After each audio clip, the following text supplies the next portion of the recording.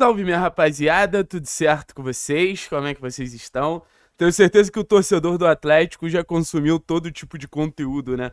Essa vitória contra o Palmeiras é, é o tipo de vitória que você quer ver ESPN, quer ver Globo, quer ver, porra, todos os canais possíveis aqui no YouTube. Indico ver nossa live de mais cedo, ver nosso vídeo de mais cedo, porque eu tenho certeza que o torcedor do Atlético quer ver ou repetidamente tudo sobre um jogo tão grande como foi essa vitória contra a equipe do Palmeiras. Eu tenho certeza que a partir de agora, como eu falei antes do jogo, é uma vitória que separa a temporada do Atlético. Até agora a gente teve um pré-Palmeiras e depois a gente vai ter um pós-Palmeiras. E como assim, Thiago? O que, é que você quer dizer com isso? Cara, até ajeitar o microfone aqui para eu ficar ser claro aqui com vocês.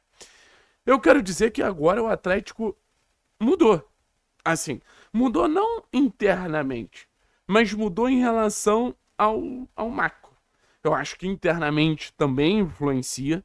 Internamente eu acho que os jogadores estão mais confiantes. Internamente o discurso do Cuca ele vai ser muito mais alinhado com a realidade. Porque eu imagino que na posição de treinador, o Cuca que tinha que motivar esses jogadores, o Cuca que tinha que passar quase que um recado de empoderamento para esse elenco do Atlético, que a gente sempre falou que precisa de autoestima para jogar o seu melhor futebol. Ele era muito se baseando em, ah, vocês podem, vocês conseguem, vocês vão entrar em campo, vão fazer um grande jogo. Hoje, se o Cuca quiser fazer um discurso motivando o grupo do Atlético, é entrar e falar: Cara, vocês enfrentaram o atual bicampeão brasileiro, um dos melhores times que a gente tem no futebol brasileiro em tanto, tanto tempo, e vocês foram muito, muito, muito bem. Então vocês sabem o que fazer. Vocês sabem como ganhar os jogos. Vocês sabem como se impor fora de casa. Vocês sabem como enfrentar um dos principais times do futebol brasileiro, como foi contra o Inter, como foi contra o Palmeiras. E eu acho que esse momento do Atlético se provar, tanto para ele quanto para o externo, torcida, imprensa e tudo mais, era um processo que a gente já apostava muito aqui que naturalmente iria acontecer. Durante muito tempo eu falei que o Atlético tinha um timaço e que eu tinha muito medo desse timaço do Atlético ficar no papel, o que muitas vezes acontece, não só com o Atlético, mas com os mais diversos times. Você tem um time ali na teoria extremamente competitivo, você tem um time na teoria com muito talento, mas você tem um time na teoria que não entrega tudo que tem potencial para entregar. E durante 12 jogos a gente viu um time entregando muito abaixo no trabalho de Juan Carlos Osório. E desde a chegada do técnico Cuca a gente está muito mais próximo do céu do que do fundo do poço. Óbvio que em alguns momentos a gente criticou, óbvio que em alguns momentos a gente precisou cornetar. O Atlético também teve atuações abaixo desde a chegada do Cuca, Ipiranga, Juventude, Grêmio. Foram momentos ali que a gente questionou tudo que vinha sendo feito. Porque a gente sabe que o Atlético pode entregar o que entregou contra Vasco, um domínio completo, o que entregou contra Inter, o que entregou contra Palmeiras que até agora eu considero as principais vitórias da temporada, mas as goleadas contra times de Sul-Americana, as goleadas contra time de Campeonato Paranaense também mostram quanto esse Atlético pode chegar longe.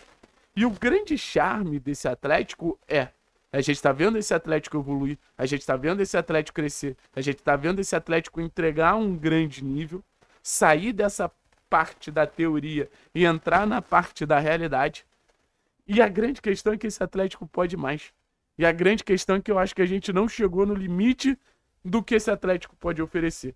Eu acho que a gente não chegou no limite do que esse Atlético pode entregar. Eu acho que esse que é o ponto mais legal como um todo. Que esse Atlético pode oferecer mais e mais e mais e mais, pode crescer mais e mais e mais e mais.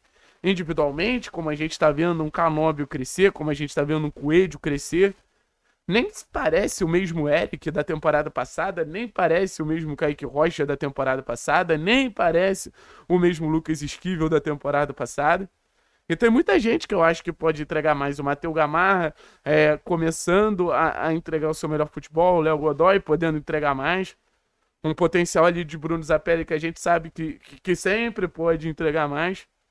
Então o Atlético, que nesse momento faz uma temporada quase que perfeita, né? Campeão paranaense, líder do Campeonato Brasileiro, líder geral na Copa Sul-Americana. Tem uma desvantagem ali na Copa do Brasil, mas a gente sabe que no final das contas, essa desvantagem na Copa do Brasil, o Atlético tem total capacidade de reverter. Eu acho que o Atlético, ele, ele saber que ele pode mais, mesmo atingindo todos esses objetivos, é uma grande motivação. Ele saber que ele pode mais, mesmo atingindo esses objetivos, eu acho que empolga não só o torcedor, mas empolga internamente.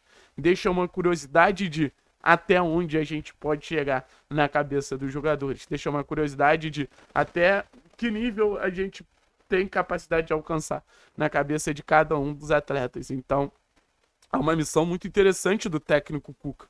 Não só do técnico Cuca, mas principalmente do técnico Cuca, de encontrar essa melhor versão dos jogadores. O próprio técnico Cuca fala sobre o K9 e ele diz: Eu não fiz nada muito grandioso com o K9, eu só mudei ele ali de posicionamento. E eu acho que é a partir desses pequenos ajustes que, por exemplo, a gente tem um Lucas Esquivel chegando mais na frente e sendo extremamente impactante, participando de gols em sequência, quanto o Palmeiras mais uma vez.